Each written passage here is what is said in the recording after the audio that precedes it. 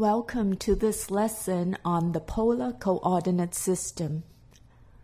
This lesson is for those who have already studied Cartesian coordinates. That's also called the rectangular coordinate system. I'll assume you are equally comfortable with both degrees and radians, and we'll use those interchangeably.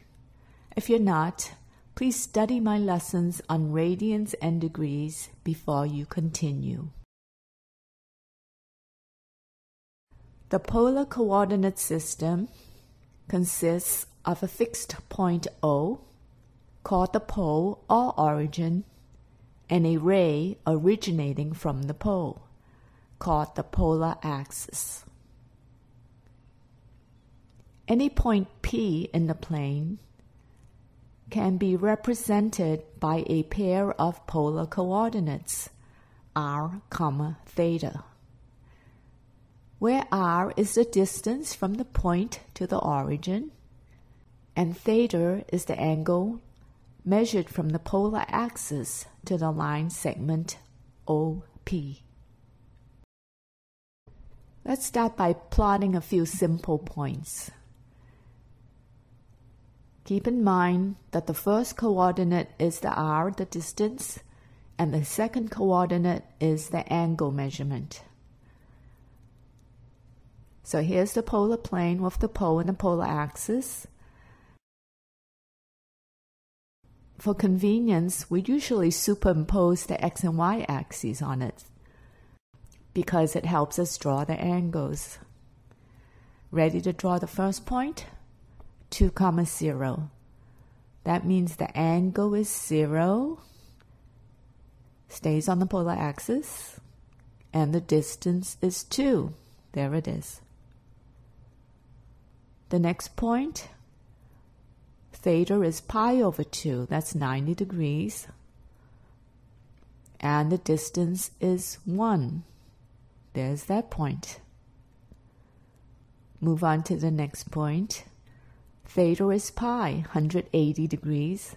But you see, r is 0. Whenever r is 0, we end right up at the pole. Next point, the angle is 3 pi over 2, that's 270.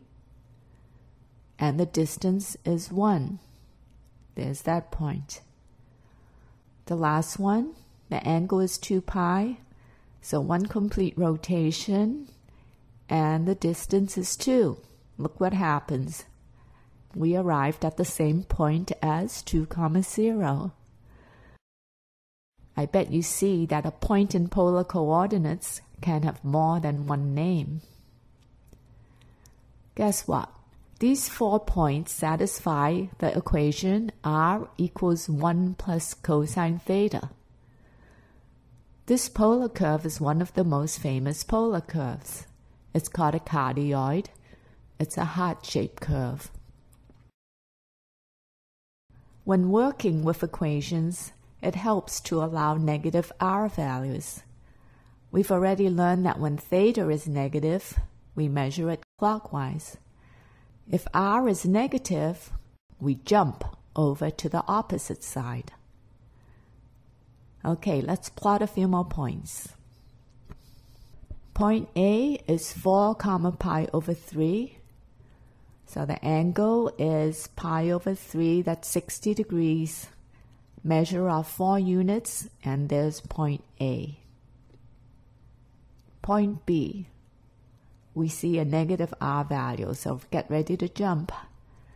First, we measure the angle, 3 pi over 4. Draw that angle, that's 135 degrees.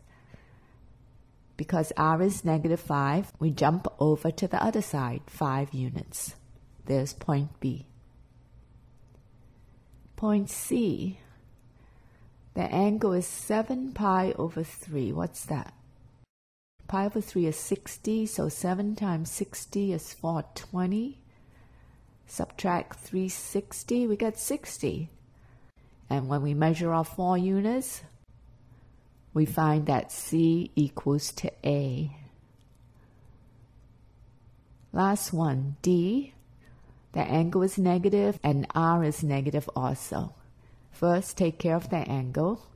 Draw negative pi over 6. So measure clockwise pi over 6. Then jump over to the other side and measure off 3 units. There's point D. All done. In the next lesson, we will learn how to convert polar coordinates to Cartesian coordinates and vice versa. See you then. Bye.